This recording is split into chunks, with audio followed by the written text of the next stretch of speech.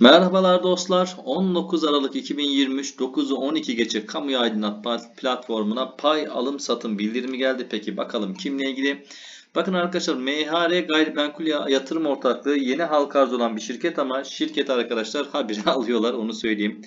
E, alan da zaten büyük ihtimal tek kurum. Bakalım 18 Aralık 2023 tarihinde MHR Gayrimenkul Yatırım Ortaklığı payla ilgili olarak %4 şeyde 4,61 ile 4,73 fiyat aralığından 2 milyon 249 bin 716 toplam nominal tutarlı alış işlemi MHR e, tarafımıza gerçekleştirilmiştir. Bu işlemle birlikte MHR Gayrimenkul Yatırım Ortaklığı AŞ sermayesindeki paylarımız 18 Aralık 2023 tarihi itibariyle %63,11. Bakın haber 19'una geldi ama bilgi 18'ine ait. %63,11 sınırına ulaşmıştır. Bakın %63 arkadaşlar. Az bir sınır değil.